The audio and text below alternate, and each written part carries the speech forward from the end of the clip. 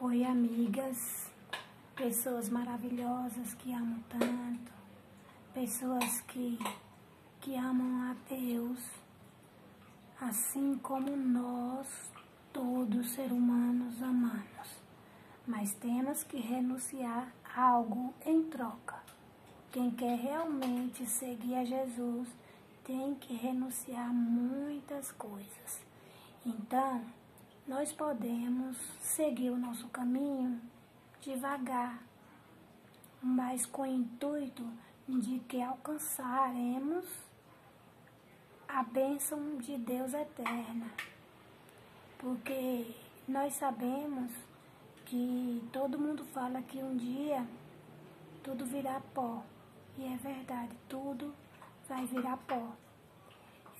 As pessoas gostam muito de colocar o dedo assim, dizer, fulano foi culpado, olha aquela pessoa que está passando ali, isso, isso e aquilo. Para Deus e para Jesus, o pecador, ele pode ser perdoado.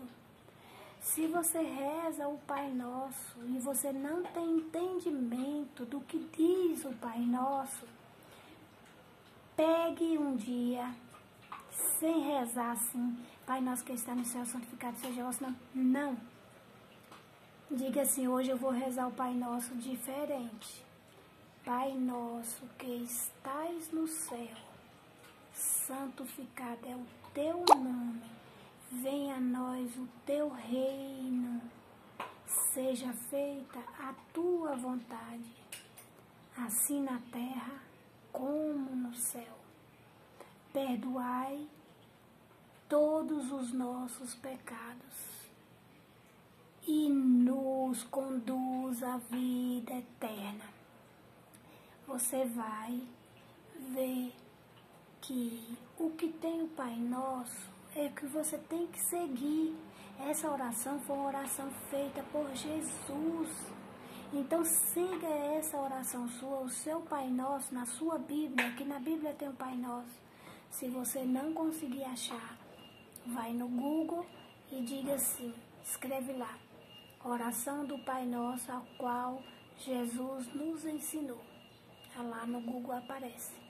Então eu tenho uma palavrinha aqui para falar para você, perdoar, perdoai e seja perdoado. O povo tá falando do padre, do padre Robson, né, que pegou, pegou dinheiro ali e tal e tal. E os outros vêm e falam dos evangélicos que roubaram esses. Gente, isso não vai parar nunca. O que tem que parar realmente é se nós, cada um de nós, fizermos o certo. Entendeu? Aqui tem assim. Em Tiago 5, tem assim, 5,19 fala assim, ó. A responsabilidade pelos pecadores. Meus irmãos, se alguém de vós se desviar da verdade e outro o reconduzir, que este estão, que este estão saiba, que este então saiba, que faz voltar um pecador do seu caminho errado, salvará sua alma da morte e cobrirá uma multidão de pecados. Então tá aí, a palavra de Deus tá aí. Tiago 5, capítulo 19. Gente, quem tem que perdoar, quem tem que falar que está certo ou errado é Deus. E é o nosso entendimento que sabemos o que está certo e o que está errado, entendeu? Então vamos perdoar as pessoas, vamos não julgar tanto. Nós só vivemos julgando. Todo ser humano julga o outro ser humano. Vamos parar de julgar, gente. Vamos viver lendo a Bíblia, ó, lendo. Eu passei sete anos lendo, lendo a Bíblia sem precisar de ninguém me ensinar. Quem me ensinou foi o, o Google. Eu pedi as coisas que eu tinha vontade e eu encontrava.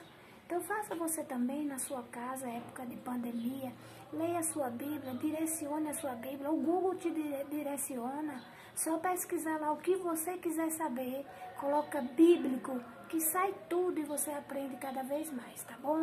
Um beijo para todos vocês, coração, e fiquem em paz, todos nós. Beijo.